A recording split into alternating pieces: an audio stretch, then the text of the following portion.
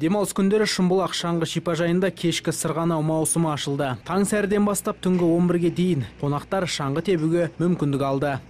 Иә мына жерде бәрі жақсы маған өте ұнайды. Біз достармен мына жерге жиі жиі келеміз. Енді сізге не ұнайды мына шымбұлақта?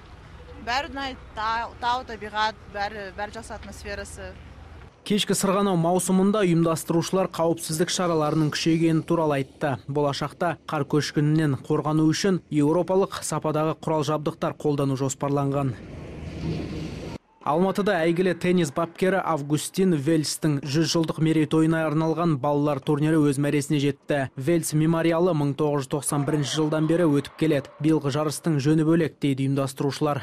Вельс мемориалы арқылы балалар үшін үлкен спортқа жол ашылады. Қазақстанда теннис қарқынды дамып келеді. Қолға ракетке алып алаңға беттеген жеткіншектердің саны артуда. Турнирдің мақсаты елімізде үлкен теннисті дәріптеу және дамыту. Ең бастысы жас теннисшілер тәжірибе жинап шеберліктерін шыңдайды. Жарыстың қорытындысы бойынша жеңімпаздар мен жүлдегерлерге арнайы сыйлықтар мен дипломдар табысталды. Астаналық барыс құрлықтық хоккей лигасының ойындары аясында өз алаңында автомобилист командасын төртте бір есебімен жеңді. Елордалық команданың сапынан михайлис старченко мен бойт шайба соғып көзге түсті. Қонақтар сапынан трямкин ғана бір голмен жауап берген.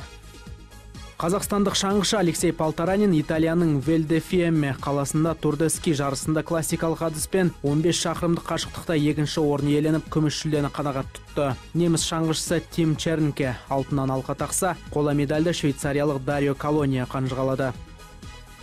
Қазақстанның бірінші ракеткасы зарина диас WTA-дің жаңартылған рейтингісінде тағы бір саты жоғарылап 31 орынға тұрақтады. Сонымен қатар бүгін австралияның хобарт қаласында өтіп жатқан халықаралық турнирде бақ сынап жатқан зарина алғашқы кездесуін өткізді. Отандасымыз испаниялық теннисші сильвия эспиносаны алтыда үш алтыда төрт есебімен тізе бүктірді.